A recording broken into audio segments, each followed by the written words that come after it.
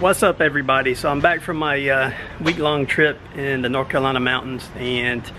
bike was just not feeling right most of the rides and, and pretty much ever since I got it and I was kind of struggling with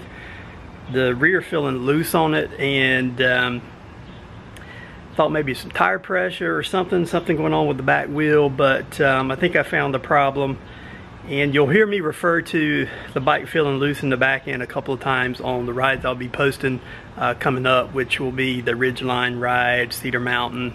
uh, Big Rock, and Fire Mountain. And uh, so I think I found the problem. So this kind of reinforces the need to, to actually recheck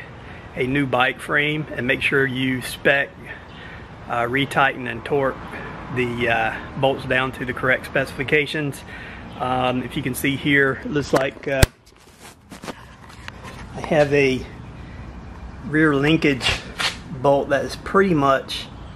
almost backed out. And um, you know it probably started off a little loose and then over a bunch of rides it just uh, backed out quite a bit. And with all the mud in the mountains last week it, I probably just didn't notice it. But I think that's going to fix my problem. So I'm positive in that regard. So I'll get the I'll remove the linkage, re-grease everything, tighten it back up to the specs, and you know what, while I'm at it, I'm going to do the top linkage as well, and make sure it has a proper uh, thread locker, proper grease in the right spots, and uh, reassemble everything, and hopefully it'll be okay. But yeah, just goes to show you, recheck everything. Uh, you never know, uh, and uh, that could have been a very bad uh, day for me on the trail, and probably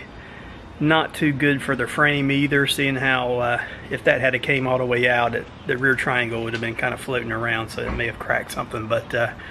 double check the specs on your um, bolts on your bikes